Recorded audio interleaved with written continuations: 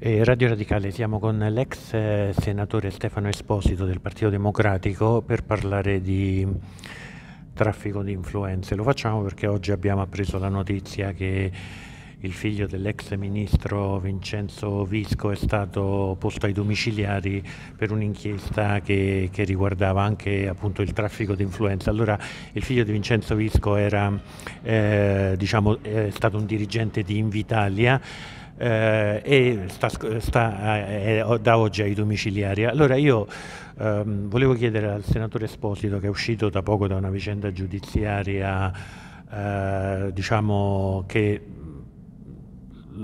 gli ha un po', insomma, gli ha un po' rovinato gli ultimi anni della, della sua vita, è stato anche indagato per, per traffico di influenze, che tipo di reato è questo e soprattutto se ritiene giusto cambiare questa, questa fattispecie di, di, di, di reato e come ha preso questa notizia.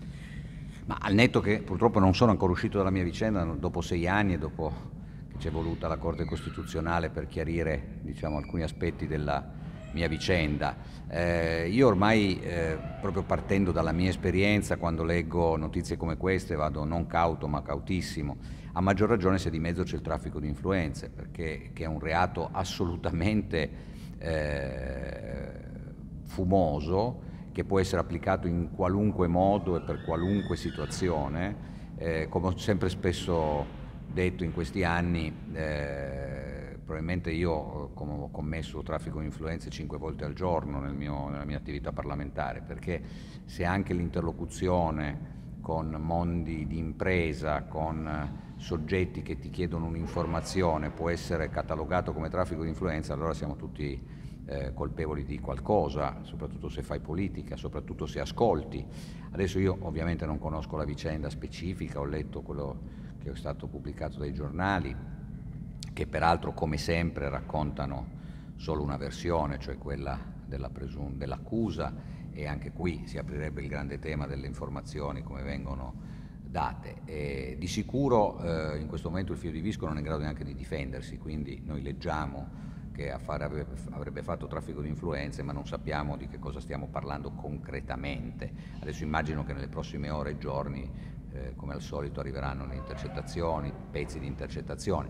Io penso che il traffico di influenza vada... Lei pensa che ecco, eh, questa accusa, questo presunto reato sia legato anche all'uso distorto delle intercettazioni? Sì, io penso che il tema delle intercettazioni su reati come questo, in particolare il traffico di influenza, sia eh, come dire, un elemento centrale. Eh, una frase, eh, un certo modo di dire una determinata cosa viene tradotta, trascritta, non analizzata probabilmente nel, in maniera puntuale e quindi ci troviamo di fronte a situazioni in cui le persone vengono distrutte. Io ho passato sei anni e non ho ancora finito, eh, ma i casi Però ormai si sono... stanno smontando un po' da quello che ho capito. Ma in realtà la mia è una vicenda diciamo, che ha, la Corte Costituzionale ha certificato che l'indagine non solo non doveva essere iniziata ma è stata svolta nella perfetta illegalità costituzionale ma anche della legge.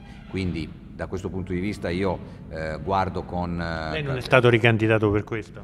Mm, ma la mia esperienza politica è relativa, le posso dire, mm, io non sono distrutto dal punto di vista della mia carriera politica, io, a me hanno distrutto la vita, che è una cosa molto più seria della politica, se posso dire la verità, e probabilmente tutto questo è stato fatto eh, sapendo coscientemente che si stava violando la legge, questa è la cosa che disturba di più. Adesso la vicenda del traffico di influenze, io mi auguro che Nordio, che per la verità annuncia molto, chiacchiera altrettanto, ma poi concretamente al momento abbiamo visto ben poco, eh, ridefinisca e metta dei paletti a questo reato del traffico di influenze, sul quale peraltro io a suo tempo quando venne votato ed ero legislatore votai contro perché era chiarissimo che è un reato che può essere applicato per qualunque cosa e, e poi la, rive, la vedi al, al, processo, ma quando arriva al processo un imputato ha già distrutto la sua esistenza oltre che la sua carriera.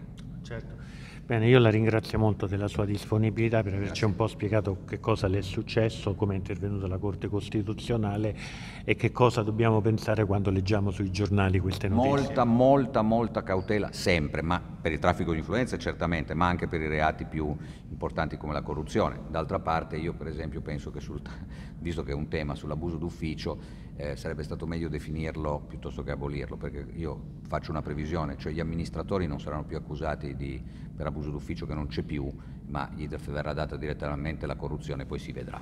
Ah, certo. Grazie, grazie al senatore Stefano Esposito. Grazie a voi.